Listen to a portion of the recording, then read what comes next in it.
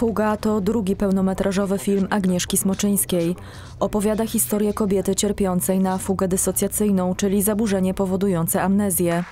Główna bohaterka nie pamięta ani swojego imienia, ani rodziny, a kiedy w końcu do niej wraca, nie potrafi odnaleźć się w dawnej roli żony i matki. Pisząc tę postać, później grając ją, musiałam wejść w jej głowę, w jej emocje i musiałam ją pokochać, żeby móc z nią być na planie. E, I, i mm, myślę, że bardzo dużo jest mnie w Alicji i Alicji we mnie. E, Stąd moja jakby taka pewność podczas pisania tego scenariusza, że to będzie rola dla mnie. Choć sama aktorka jest przekonana, że większość reżyserów nie obsadziłaby jej w tej roli, ponieważ jej ekranowy wizerunek nie pasuje do niepokornej, a nawet wulgarnej bohaterki.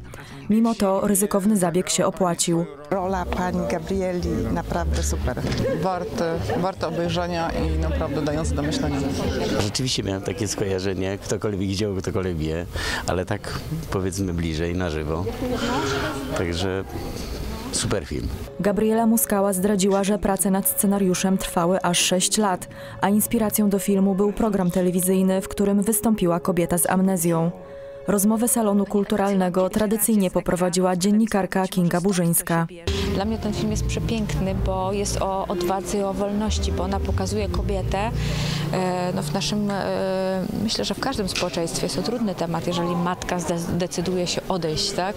Że szuka samej siebie, że wie, że nie jest gotowa, żeby być z tą rodziną. Fuga była już pokazywana m.in. na festiwalu filmowym w Cannes, gdzie spotkała się z aplauzem krytyków, a także na festiwalu polskich filmów fabularnych w Gdyni, na którym otrzymała nagrodę za zdjęcia i w kategorii za debiut lub drugi film reżysera.